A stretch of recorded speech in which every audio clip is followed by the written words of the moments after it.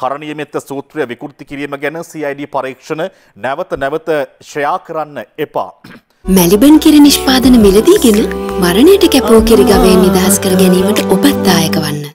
වාර්තා කර තිබෙනවා අද දිවෙන පුවත්පත ඔවුන්ගේ ප්‍රධාන සිරස්තලයක් විදිහට මේ සම්බන්ධයෙන් අපරාධ පරීක්ෂණ දෙපාර්තමේන්තුව මේ වරට විමර්ශනයක් ආරම්භ කර තිබෙනවා. එමෙන්ම මේ සම්බන්ධයෙන් ශ්‍රී ලංකා විදුලි සංදේශ නියාමන කොමිෂන් සභාවද පරීක්ෂණයක් ආරම්භ කර තිබෙනවා කියලා බුද්ධ ශාසන හා සංස්කෘතික කටයුතු අමාත්‍ය විදුර වික්‍රමනායක මහතා සඳහන් කරනවා.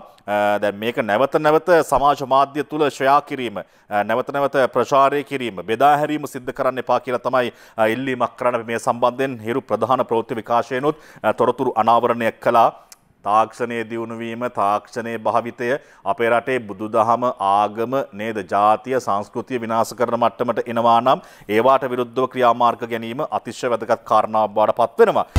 ඔබේ සමය ග්ලෝ එක වෙනුවෙන් එන අපේ හොඳම සවන් කැටය නවලක්ස්.